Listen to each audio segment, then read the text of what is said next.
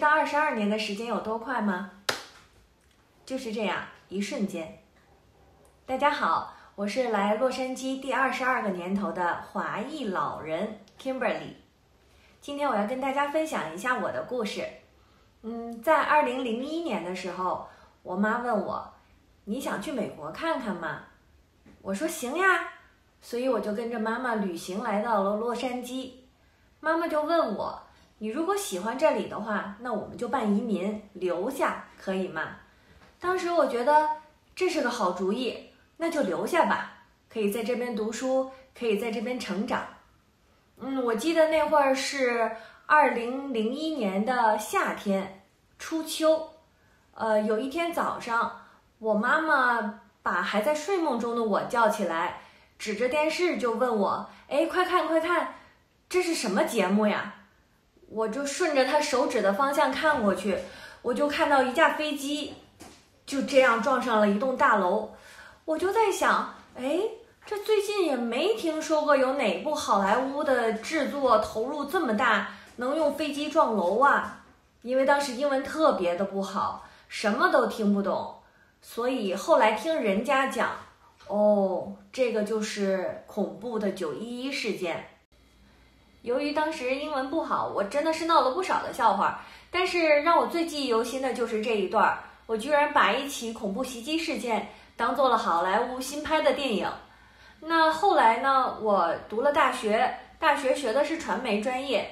这个专业啊，它就是要求我跟很多人沟通。那我去学校上学，跟同学、跟老师都不得不用英文交流。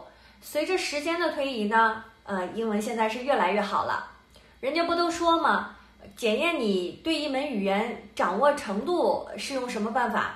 那就是要看你做梦的时候用什么语言。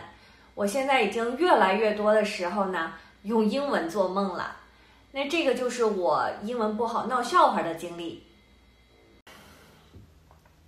在九一一事件之后，大家应该都记得吧？美国移民局那会儿把所有的工作都停止了。就是意味着没有人能来美国，如果你离开美国，也没有人能回得来。可是当时我们是不知道这样的情况的，呃，妈妈就说，因为他不工作了，我要工作呀，我在中国还有很多事情没有处理呢，我得先回去，等我处理完了，我再回来跟你团聚，到时候我们再安安心心的把这个移民办完。其实当时我们是都劝他的，别回去，因为。呃，政策是瞬息万变的，不知道你回去了之后，接下来他们还有什么样的变化。但是结果呢，肯定是不出乎大家的意料。妈妈潇洒的回去了，可是回不来了，那就意味着把当时才十几岁的我一个人留在了美国。那个时候，我的身份处于移民的申请过程当中。你说我没身份吧，我还有绿卡号码；你说我有身份呢，人家说了。你是什么身份呢？所以在长达一年的时间内，我没有学上。我每一天只能要么就自学，要么就去英文补习班，就在这边等着妈妈的这个移民能够申请下来。嗯，大概过了四年多的时间吧，那会儿已经到了是二零零五年，在我们不负众望的等待情况下，我终于收到了绿卡。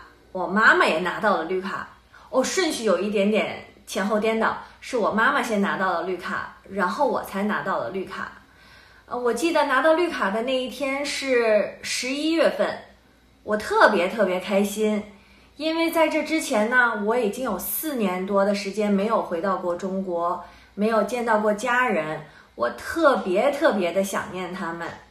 拿到绿卡的时候，我忘了我有没有哭。但是我第一件事情就是给我妈打电话，我说妈，我终于能看见你了。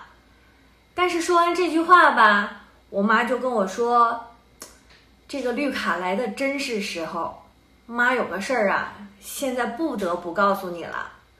当时听了这话，我就特别紧张，我就问妈怎么了，我妈就跟我讲说，哎，我生病了。乳腺癌，我当时攥着手里的绿卡，心情特别复杂，一个就是想说，哎呦，我在妈妈身边离开已经四年的时间了，没有陪伴她。但是我又同时很感谢这个绿卡，它到来的这个时机，刚好可以让我回去陪妈妈了。嗯，今年已经是二零二三年了，距离我妈生病已经过去了快十八个年头了。好消息呢，是我妈妈生病之后治疗手术特别成功，她现在呀健健康康的。